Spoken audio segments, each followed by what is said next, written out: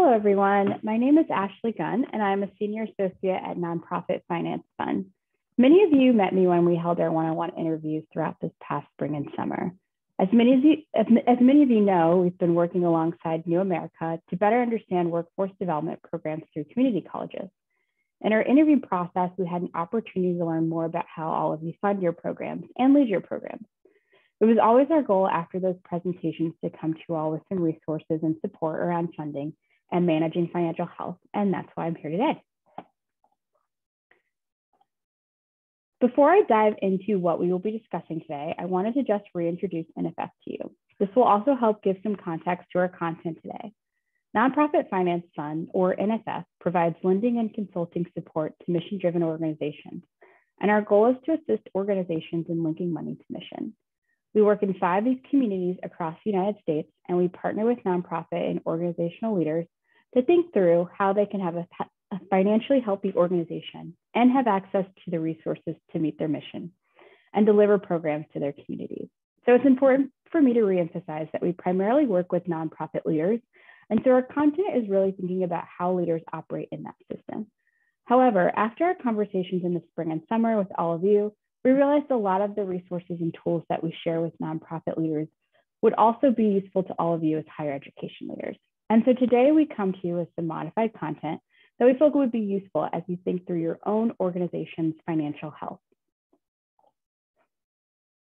Our goal with this presentation is three parts. First, we want to introduce you to the concept of full cost. We think of full cost as an advocacy tool that we equip nonprofit with leaders with to better advocate for the financial resources they need to achieve their mission. Our second goal with this presentation is to give you some tools and resources around financial storytelling. And our third goal is to provide you with some tools around developing budget scenarios that could help with financial storytelling and advocacy. As a reminder, if you need additional support after this presentation and understanding any of the concepts we discussed today, or thinking about how these concepts could be applied to your organization, we're offering two in-person opportunities. Uh, our first will be a group discussion where you'll have an opportunity to connect with and talk with other members of the cohort. And the other opportunity is to participate in one-on-one drop-in coaching with me or Dana to talk through how these concepts could be applied to your organization. Uh, if for some reason none of these opportunities fit within your schedule, but you'd really like to take advantage of some in-person conversation, don't hesitate to reach out to me or Dana. My contact information is at the end of this presentation, uh, and you may already have access to our email. So let's get started with understanding full cost. I want to start off by talking about full cost in the context of the nonprofit sector, and then highlight what translates to your sector. So what is full cost? Full cost is a way for an organization to identify and communicate all of the financial resources that they need to run their organization in perpetuity. So understanding full cost gives us the tools to understand how an organization can adapt and thrive. It's an advocacy tool for any organization or program that is trying to meet their mission.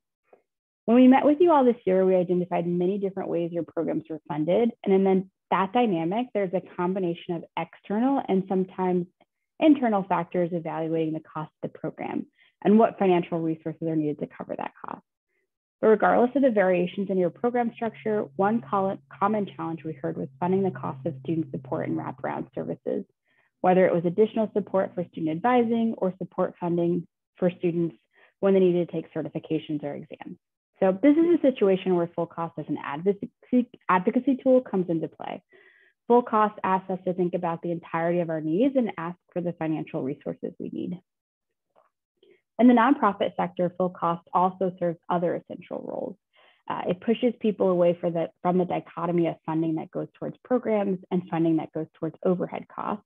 It captures short and long-term needs. It's holistic uh, and it allows us to think of what an organization needs to adapt and grow, which allows for nuances and changes over time. It's also a tool for racial equity, understanding that many organizations that are BIPOC serving and led rural organizations or organizations that are marginalized in any other way have often been chronically underfunded for many years. Full cost is also aligned with trust-based philanthropy, the idea that funders hold more trust in can hold more trust in how the organizations that they're giving money to will manage the funds and use them. In full cost, we have must-haves for all organizations and sometimes haves. When we translate this to your sector, we realize that some parts of the full cost model just simply don't apply, while others are still very relevant.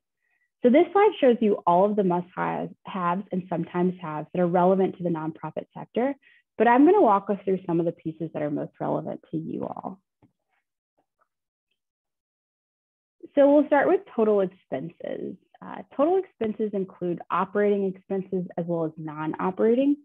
So we use operating non-operating to differentiate between costs that are accrue every year, uh, money that you uh, spend in service of your mission. Uh, that's operating. It's just like you can kind of expect it to kind of come up every year. It's pretty accurate in terms of how it reflects how you're spending money to serve your community. And then we also think of non-operating. So you would think of that as sort of like a one-time influx of cash. So for example, let's say you're holding a, a capital campaign to purchase new buildings, like maybe you're part of a university that's held a capital campaign and you receive um, an influx of money or have an influx of expenses related to that, that would constitute non-operating. It's not sort of a regular part of your day-to-day business, um, and it's not money that you could expect in perpetuity every year. So we differentiate between both operating and non-operating. Uh, we also have direct program expenses, um, and in the community college sector, this could take a few forms. For example, instructional costs, including teachers, curriculum development. Direct costs could also include financial support for students um, in the form of books or supplies. It could include stipends and wages for uh, time and trading certification or exam fees. Also could include emergency support like food care or food, childcare, transportation uh, support for students. It could also include non-financial support. So um, student success, uh, staff job placement, retention support, um, as well as just sort of like the program management aspects, evaluating the program, collecting data, engaging with stakeholders, maybe even communication and marketing about the program as well. So when you think about what it takes to run your program, include all of these categories as your total expenses. You typically find them in your budget uh, of your program, or if you have access to an income statement or profit and loss, or use that sort of documentation, uh, you will find your expenses there as well. I also want to touch on unfunded expenses. So one way to begin this conversation is to think about what's missing from your budget, but would help your program operate at its full capacity. So unfunded, unfunded expenses warrant their own conversation because many organizations and programs have them, but have operated so long with them that they don't often think of them as additional expenses. So full cost, as we mentioned, it's an advocacy tool. It's something that you can use to both think about and assess your organization's costs, but also advocate to funders, whether internally or externally, about the financial resources you need to operate at full capacity. Um, and so one of the most common unfunded expenses is something we call sweat equity, which is essentially the gap between current wages and fair wages for the exact same type of work. So if we were able to cover these expenses, it would allow us to do our job better and better serve the students that we're working with. Other common unfunded expenses you may be experiencing, um, unfilled positions um, that have been unfilled for a while, uh, subpar supplies, um, you think about an increasingly virtual environment, slow internet. Uh, unfunded expenses don't include expenses to do more or add any additional programs. They're simply what you're currently incurring as a part of your program, but you're not currently covering separately. Uh, another example here is let's say that you as a program leader in this on this slide we talk about executive directors, but you know you're working beyond 40 hours a week, uh, maybe 60 hours a week. But if you had an assistant or another administrative position, uh, you would be able to reduce your time to 40 hours a week and hire uh, an administrative assistant for the additional administrative work that you're taking on. So it's an unfunded expense at this time, you know, having an additional staff person to take on some of those administrative responsibilities. Another category of full costs are fixed asset additions. So we consider fixed asset additions to be a sometimes have for many nonprofit organizations. We also understand that within higher ed, new buildings are often purchased on a college-wide level as opposed to an individual program. Um, you may not have the resources or really the structure to purchase new buildings or new land. But at the same time, you may have a need for specific buildings, specialized equipment uh, that allow you to run your program really well and have the different tools that students need to get the most out of the program. And so for that reason, we've included fixed asset additions as a full cost piece that's relevant to folks who are running sort of a workforce development program. And, it, and it's a need that you can advocate around. Um, fixed asset additions it's the purchase of new equipment, buildings, furniture, land, or leaseholder improvements, but not including replacement or simple uh, maintenance. There are a couple of questions to consider with fixed asset additions. Namely, does your program necessitate specific equipment and how will you pay for those? Again, we understand that the payment or purchase may be coming from the college college-wide level, which might include debt or special campaigns or even surpluses um, the university or college may have accumulated over time. However, there's also value in understanding and calculating those costs for yourself, just as a tool for budget advocacy. The final component of full cost that we believe is applicable to you is change capital. Again, this is a sometimes have, um, but change capital is a periodic reinvestment into the organization to change its business model. Periodic could mean every 10 years, every 20 years, maybe if it's maybe every five years, but periodic, uh, a long period of time where you're looking at your program and thinking about how can we really change this program to better serve our mission, or even how could we change our mission to better serve our community. The timeline is really dependent on you know changes in the sector that you operate in. It isn't organic growth that's happening happening naturally over time. It's very intentional growth to change your programs and create a different shift in your programs. And when we say business model, we're essentially, anytime we use that word, we're talking about how you spend money and make money in service of your program. And so when you're making a significant change like that, there's a period of time where you may be spending more money than you're actually bringing in. And so that change capital is meant to go in and cover that period of time where you're spending more money than you're bringing in. Um, if you think you're going to make a huge program change and you need to hire additional faculty or invest in new technology or do some upfront marketing in order to bring in the number of students that you need, um, this amount of capital is really meant to cover those expenses. It typically comes from an external funder um, or a large source because it's often a, a significant amount of money. So you might calculate, you know, what those costs are by thinking through just some of the costs associated with changing the program. And as you're thinking through what change capital needs you might have, it's important to focus on what about your current program is going to change and what type of external funding, funding exists out there to finance this change. And once you settle into your business model, how are you planning to outgrow that change capital um, over time? Now, bringing us back to this original image I showed at the beginning of the full cost presentation, um, I've highlighted the pieces of full cost that we've just reviewed. Total expenses, fixed asset additions, and change capital are the pieces that really resonate with you know, what we've seen as advocacy needs within the programs that we talk to. So how do we bring this into some financial storytelling?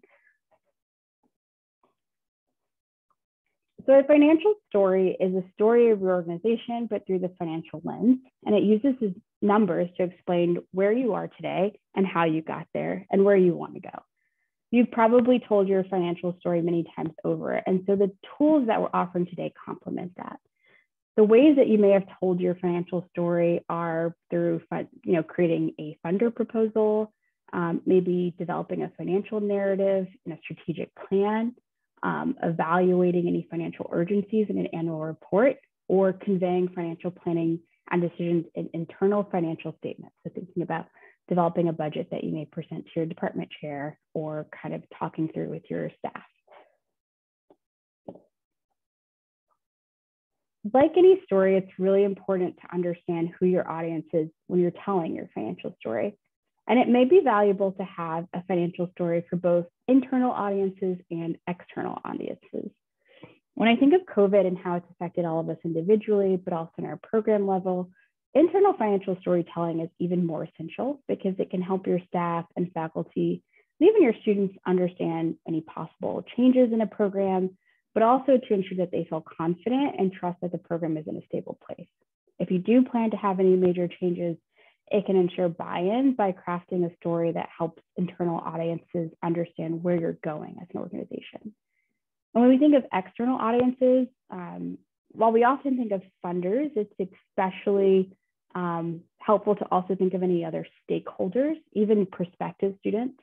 And telling your financial story will also assist them in having confidence in you, um, but also in being able, especially in regard to funders, give you the tools you need to advocate for the resources that you need. So let's talk through the structure of, of telling a financial a story, especially considering some of the full cost pieces that we just talked about.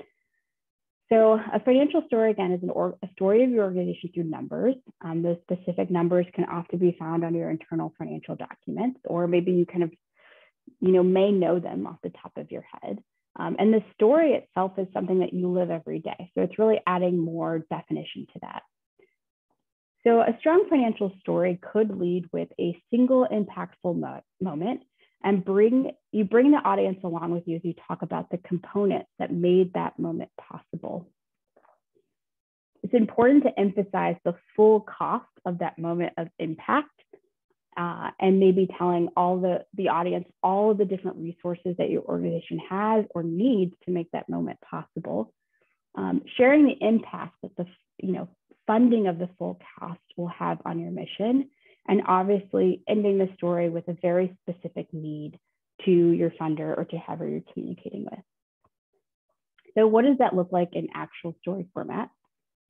So here's a story uh, of a nondescript, um, art, artistic focused nonprofit organization. And you'll see on the left that it kind of walks through all of those different story structures and ends with that impact asked need.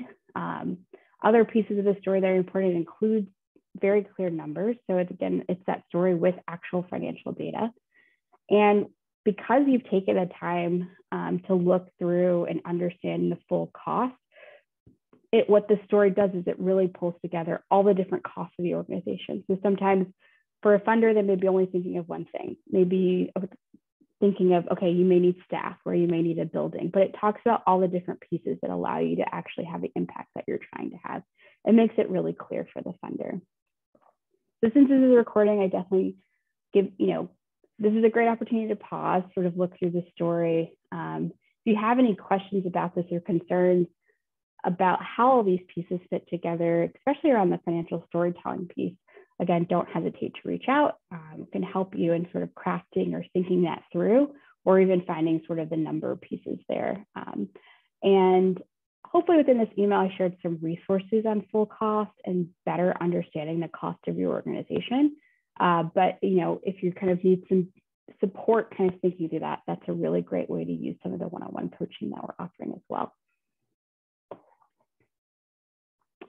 Um, and while this story really looks at or is really geared towards an external funder, um, I think there's value in also thinking about how this can be used in an internal budgeting process, which might be a process that you kind of are more intimately involved in, kind of thinking through maybe revising your budget or preparing for a new budget circle, a cycle or being able to sort of advocate for more resources than you've received in the past, being able to think through these and be able to kind of create a structure like this for a very specific ask. So I want to pivot into a conversation around scenario planning and strategic budgeting. So this conversation will offer you some resources on building budgets that account for uncertainty. scenario, scenario planning is essentially playing out the what ifs of different choices, events, or conditions. It helps us visualize and quantify the effects on our budget so we can plan our response. Ultimately, we can use scenario planning to make sure that in the event of X, will still be able to survive, And survival is dependent on the ability to pivot uh, to the unexpected. And that's what scenario planning helps us do. The distinction between scenario planning and budgeting. So scenario, the actual scenario planning process is really expansive. It involves probably more people than just you, um, but really thinking through programs, finance, fundraising, human resources. It's just a comprehensive planning about different potential futures. Um, but they influence the scenario budgeting process, which is more narrowly focused on the actual numbers, the more concrete um, pieces of what that scenario could actually look like. So I'll review high level scenario planning, but also provide just some tools and resources around the budgeting aspects as well. So some considerations when you're going through a scenario budgeting process, um, you know, obviously to build a budget that reflects your strategic goal, sets realistic expectations and accounts for revenue restrictions. And what we're talking about there is, you know, there may be times when you receive funding, but it can only be used for a very specific purpose. Uh, so, you know, someone may say, I want to offer this, but it can only be used to provide students with, you know, extra money to purchase kind of exam certifications. And so while you may receive a large influx of cash, it's very restricted to a specific purpose. And so building a budget really takes into account, obviously that the money is present, but that it's reserved as well. Um, obviously accounting for uncertainty. So um, in our next few slides, I'll talk through discount revenue just based off of being able to sort of predict the different types of funding sources that you might have access to, um, but also kind of knowing what it takes to reach your goals as a cushion for an ability to think through the nuance of uncertainty. Know your options, uh, being able to identify your fixed and variable expenses, which some of the full cost pieces especially around the total expenses helps you to do that. Um, but also be clear about different trade-offs when you're consider considering different scenarios. And iterate. Uh, like any process, a budget is pretty iterative, especially when you're thinking of different scenarios. And so it can take a lot of work to sort of figure out the different types of scenarios that might work and to make really large predictions off of obviously a lot of uncertainty or a lot of changing variables. So being able to come back and compare your budget to actuals pretty regularly to better refine that process, um, updating projections. So we'll talk through, for example, if you're looking at how to evaluate different possible funding sources that come through, there's an initial step of being able to assess how likely are you to receive funding. But obviously, to make that process work better is to go back and say, like, did we actually receive the funding? Um, making decisions necessary when response to change and communicating about to your team and to your stakeholders about those decisions. So let's return to the point of how you can account for uncertainty with different revenue sources. One way you can manage this uncertainty is to predict the probability of your revenue. This process begins by grading your expected revenue. So we suggest using the letters A, B, C, D, and E to distinguish different levels of risk for each revenue source so for example, A being committed, the most dependable, B less, and so on and so on. Um, and then next, you can assign each level of risk a range of probability. Um, so obviously thinking about the A, the most dependable, like this is a source of funding that you know you're always going to get, the amount is always going to stay the same. That would be 100% secure. The probability of receiving is 100%. Down to, let's say, for example, in this example E, which is maybe you're about to pursue a new type of funding. You have no idea what your chances of getting it are. It's very new. You don't know enough about the funder, the funding source, the revenue source. So it's a pretty low probability. You don't when it when you're developing different scenario budgets, because it's so unlikely, you don't want to take that into consideration when thinking through your budget. If you'd like, you can even color code each level of risk like we've done here. Um, but the important part is to apply these revenue grades or probabilities to each revenue source, indicating the likelihood of receiving that funding in your fiscal year. Um, there are a few ways to go about this, and I'm going to share two common ways that you can use this probability information. So there, first, there's a practice known as the discount method or discounting the revenue. And this is a great way to be really clear and systematic about what you know and what you don't know about your revenue. So here we have a made up organization, ABC organization that we'll use as an example. they have this chart where they give every one of their funders a line with their name, the current status of their funding, how likely they think it is to come in, and what amount they're expecting or requesting. You can see that it's up to them to rate the probability of every one of their line items. And you can decide as an organization, like how you want to determine what merits a particular rating. So when you look line by line, you'll see that for each of these different possible revenue sources, ABC assigned a probability that they'll receive the funding, the discount method. The discount method is where you multiply the probability by the amount. So something that's already committed, like the government funding, gets into the budget at 100%. Um, and down to the bottom, you can see um, this is an example of the prospect. So they're about to kind of reach out and try a new funding source, but the probability of it is pretty low. So in this discount method, they're kind of saying we might only get $500 of that. So at the end of the day, they have a budget that incorporates how risky those different funding sources are. So while they're looking at like $56,000 in a request, they're just planning for um, a little around $45,000 in revenue.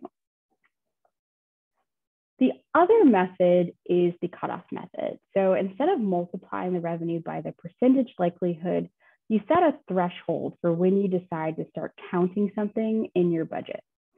So see, in this red line, so ABC is basically like their cutoff is at 60%. Um, so anything below a 60% probability, they're just not even going to count in their organization. And everything above the count above that cutoff actually gets counted in school.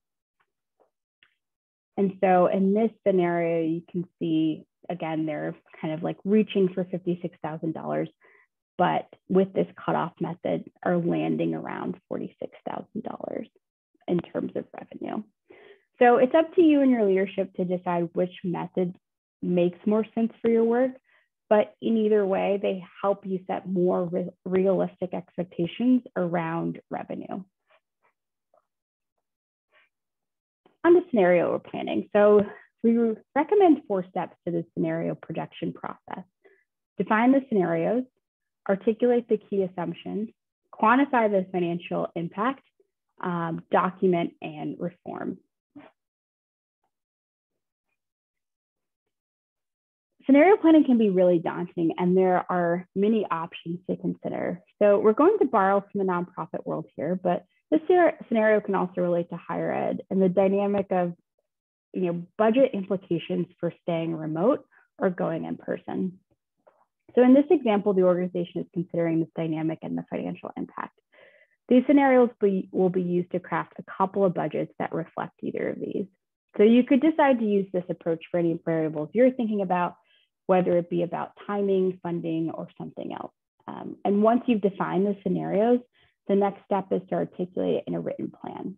All the considerations, who is involved, who are the decision makers.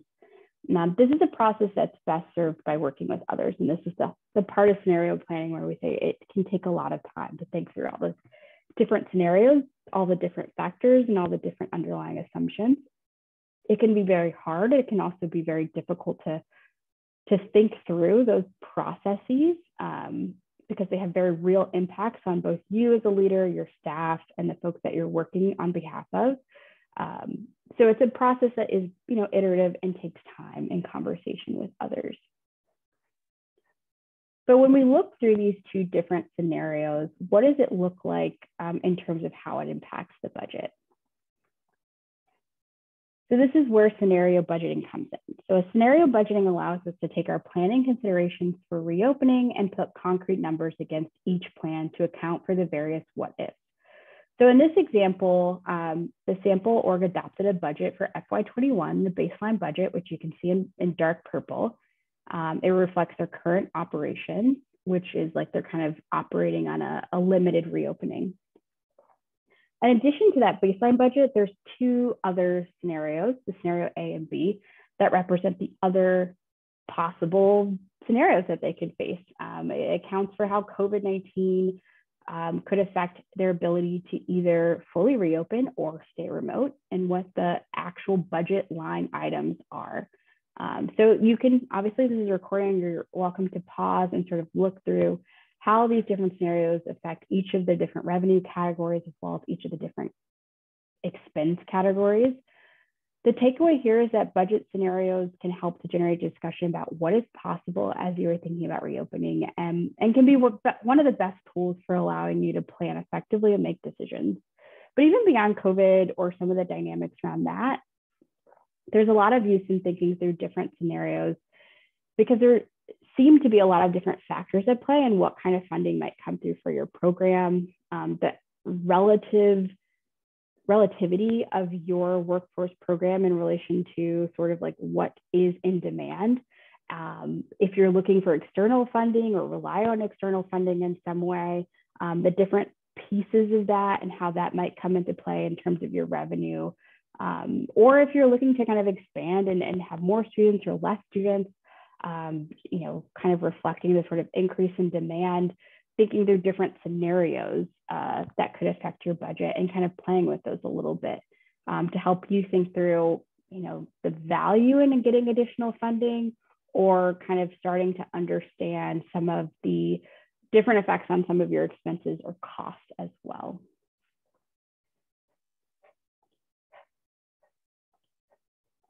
So this is a large topic, um, and we do have more resources to explore this further. And so we have a sample scenario planning tool with step-by-step -step instructions that just kind of walks you through more in depth. Um, it is uh, obviously kind of geared towards nonprofits, but there might be some applicability uh, just in terms of your budget process as well. And at the end of this presentation, um, I also have a link to just some more COVID resources that we have brought together, which again, I think there might be some really useful tools and resources in there as well. Um, and I just want to put a plug in again for the one-on-one coaching that we're offering. If there's any questions that this content has spurred for you that you would like to talk through further. That being said, I just want to thank you for your time and energy uh, for kind of going through this presentation and looking through the resources um, and taking the time to talk to us throughout late spring and the summer as well and giving us an opportunity to learn about your programs. I hope that what I've shared today has been illuminating and that any of these tools and resources could be valuable to you. On the slide, you'll see that link to the COVID-19 resources that I was talking about, as well as my email address if anything comes up. Um, and if you would like to stay in touch with NFF and, and kind of get more access to our content, um, you can follow us as well on NFF News. Um, but don't hesitate to reach out, and I hope to be in touch with you in the future. Thank you and have a great day.